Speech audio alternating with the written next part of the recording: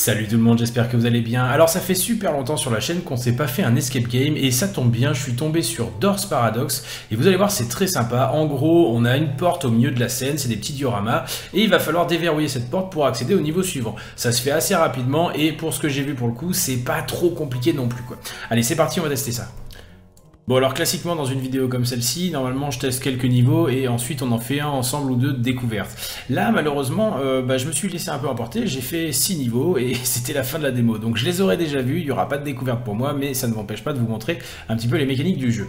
Donc on va choisir celui-ci tout simplement parce que je le trouve joli et le, niveau d'après euh, est aussi cool aussi au passage. Alors quand je vous disais que c'était joli, regardez franchement, bah c'est simple mais c'est efficace quoi. Vraiment efficace. Alors du coup, le but du jeu, c'est d'ouvrir cette porte-là, en gros. Donc on va avoir plusieurs options. Donc là, il nous faut une clé, manifestement. On a une crowbar ici, mais euh, bon, elle n'ouvre pas la porte. Hein. J'ai essayé, pour tout vous dire. Donc on va la récupérer, ça va nous servir après. Euh, ici, il y avait des petites choses. Euh, est-ce qu'il y a quelque chose à l'intérieur? Je me rappelle plus. Mais non, il devait y avoir des gemmes à l'intérieur. Enfin, je sais plus. Bon, alors après, on va pouvoir essayer d'ouvrir ces trucs-là. Simplement parce que, regardez, le vent les essaye de les ouvrir. Donc ça, hop, ça s'ouvre tout seul. Et là, on va avoir un élément. Donc ça, c'est plutôt cool. De l'autre côté, euh, je l'ouvre... Si je peux l'ouvrir en même temps. Mais en gros, euh, c'était un gemme. Ça, je m'en souviens très bien que j'avais trouvé un gemme là-dedans. Et je me dis, tiens, ça sert à quoi? Bon, spoiler, ça sert à rien, c'est juste pour vous. Par contre, il y a un truc qui est très bien dans le jeu, c'est que regardez, si vous avez un élément, alors voilà, si ça sert à rien, le jeu le balance. Et ça, au moins, ça vous pollue pas la vie. donc là, on arrive de ce côté. Alors, il y a une petite cage ici. Donc là, on voit qu'il y a un petit loquet. Donc on va essayer de l'ouvrir. Hop. Tac, on va ouvrir, récupérer ce truc-là. Et en dessous, là, si vous regardez bien, il y a quelque chose. Donc hop, on va le mettre ici. Et là, euh, bah, on a ce truc-là qui va forcément pile poil dedans, donc ça tombe très bien. Allez, ouvre-toi, mon pote. Alors, je me rappelle plus de tout, hein. pour être je l'avais testé il y a 2-3 jours.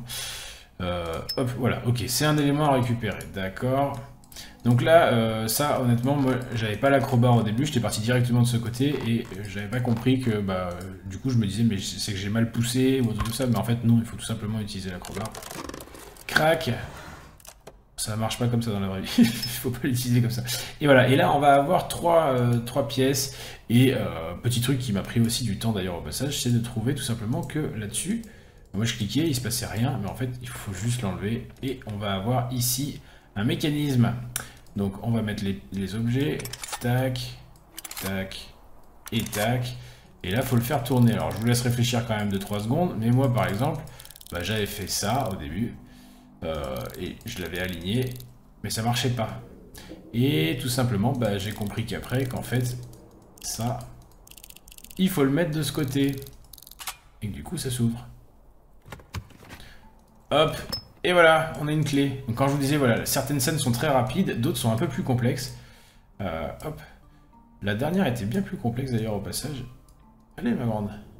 Mais je préfère celle d'après, donc du coup, bah, je vais vous montrer celle d'après. Zou, alors il y a une espèce de petite histoire, on essaye de poursuivre un chat, euh, enfin, qui nous raconte des trucs un peu farfelus, Mais bon, je vous avoue que je me suis pas trop intéressé à ce, à ce côté-là du jeu, quoi. Je suis pas trop là pour le lore, je suis plus pour essayer de trouver quelques énigmes. Et vous voyez, c'est prenant. Hein. la, preuve en est, euh, bah, j'ai fait les 6 niveaux. Euh, apparemment, sur Steam, ça me disait en 40 minutes. Et je me suis fait vraiment prendre au jeu. Hop. Alors, ici, il y a un truc. Pousse-toi. Voilà. On voit que nucléaire plus produit, euh, enfin, toxique, mais pas toxique, virus, quoi, on va dire. Ça fait ça. bon, voilà. À vous de chercher ce que ça peut dire. Donc là, on a une espèce de truc. Apparemment, on peut baisser ça, mais on n'a pas ce qu'il faut. On va chercher sur le côté. Ici, il y a plein de trucs. Le compteur geyser. Non, bon, bah, écoutez, le jeu vire tout. Ah, ici, il y avait ça. Voilà. La cuvette. Hop, hop, hop, hop, hop, hop, c'est pas fini, il y a une poche. Moi, je veux ça. Voilà. Euh, tac, on va passer de ce côté. Euh, tac, ah bah alors, il y a ce truc là, là. on le dirait pas, mais on peut le prendre en fait en réalité. Donc là, il y a un capuchon, je peux le dégager. Moi, je vais essayer de récupérer forcément euh, le produit euh, rempli de virus, quoi. Alors ici, on a une clé. Ah oui La clé, hop Tourne-toi. Et on va la petite goupille, ça aussi. Allez, on dégage. Vous voyez, ça reste quand même assez intuitif. Là, euh, réellement, ça va aller assez vite parce que je connais le niveau, encore une fois. Mais sinon, euh, de base, euh, franchement, il y a des trucs sur lesquels vous cherchez un petit moment. Quoi. Genre ça, là. Ah non, on peut pas maintenant? Et eh ben, vous voyez, hop. Alors, du coup, il y a ce truc-là, là-haut, quoi. Et ça, honnêtement, bah, franchement, qu'est-ce qu'on peut faire réellement de base? On peut cliquer dessus, il se passe rien. Et moi, ça me faisait penser à Tetris. Du coup, bah, j'ai eu l'idée de décaler et de faire glisser comme ça. Et vous voyez, hop, le compteur va descendre, en fait, tout simplement. Du coup, il faut qu'on place tous nos objets, mais on est obligé de les prendre un par un. Hop. Alors, on va enlever ça. Ça, on va te mettre plutôt par là. Là, on va t'envoyer dans le petit coin. Parce qu'en fait, il faut tous les placer sur le rouge. Et, euh, celle-là, elle va nous embêter, donc je vais la mettre tout de suite. Ce sera fait. Tac. Allez. Alors, je peux les déplacer que dans une ligne, donc forcément, du coup, si vous demandez pourquoi je fais des mouvements un peu étranges, c'est juste... C'est pour ça. Voilà. Bon, apparemment, ça a arrêté le réacteur. et alors ça, vous allez peut-être rire, euh, moi j'ai fait ça pendant quelques instants, au bout d'un moment j'ai compris qu'il y avait cette manette, bah non, il n'y a rien, euh, on peut rien faire, regardez, hop, voilà. Jusqu'au moment où je me suis rendu compte qu'en fait, il fallait juste faire un tour complet. C'est beaucoup plus simple que prévu. Tac. Du coup, bah là on a une pince, on va essayer de récupérer ce truc. Voilà. Alors pour le coup, je me rappelle plus du tout après. Euh... Ah si, si, si, si, si, si, si, si, si, je me souviens. On a ce truc là qui va là-dedans et hop, on peut ouvrir. On déverrouille ce machin. Et là-dedans, regardez, on va y mettre ce qu'il nous disait, euh, le truc nucléaire plus le truc avec les, les virus, ça fait quelque chose. Bon, bah, on va le faire. Et là, bah, vous pouvez réfléchir pendant un moment, attendre qu'il se passe quelque chose, mais il se passera jamais rien si vous refermez pas le truc en fait. Et bah ça, c'est pas intuitif simplement parce que bah en fait on est en train de déglinguer la serrure comme ça. Bon, vous savez quoi, vu qu'on est sur la lancée, on va se faire un, niveau de plus. Hop, je me rappelle plus euh, lequel est après. Vu que ça change complètement à chaque fois. Alors là c'est bien quand on le refait parce qu'il n'y a pas les petits messages du chat euh, qui ne servaient à rien. Ah oui alors là vous voyez on change complètement de thème. Celui-ci était un peu plus space de mémoire. Euh... Oui, il y a un truc là déjà, regardez. Hop, il y a un couteau. Ah oui, celui-ci est très particulier. Vous voyez, regardez là. Hop, on a ici, on a un tiroir. On peut récupérer un truc, un livre et un espèce de seau. Et euh, là, il y avait un message du chat qui disait non, non, euh, ton esprit te joue des tours. Moi, je comprenais pas en quoi mon esprit me joue des tours, parce qu'on peut rien faire de particulier. Ici, on a une cage, mais on peut pas y aller en réalité. Et vous voyez, si on tourne, et ben regardez, hop, c'est plus le lapin. Enfin, ou, regardez, là il y a un petit personnage dégueulasse. Si je tourne, hop, c'est le lapin. Bon, alors je vous le donne en mille.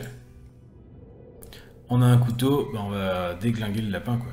Forcément, c'est le seul à avoir des trucs. Mais il nous donne un truc, c'est intéressant. Je sais pas s'il nous en veut après, je resterai pas dans le coin de toute façon. Euh... Il n'y avait pas une histoire de... Non, ça doit pas être maintenant. Ah oui, voilà faut qu'on voit ce truc là. Donc là, on va enlever son masque horrible. Et regardez, si vous essayez d'attraper le truc qui est au milieu, bah ça marche pas.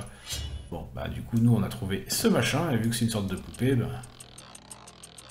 Euh, franchement, je n'y mettrai pas la main. Hop là On a un médaillon diabolique.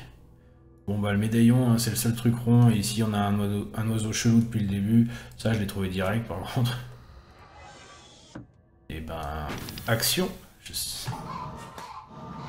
Hop là.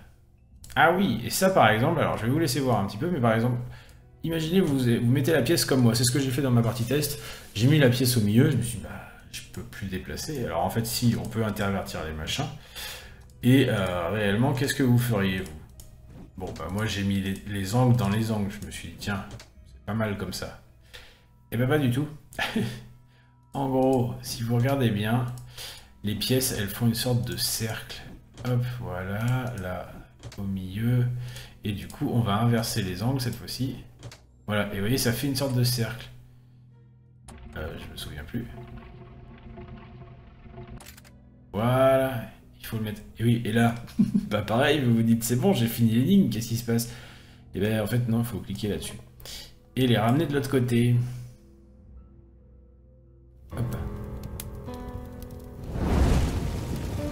La porte démoniaque s'active.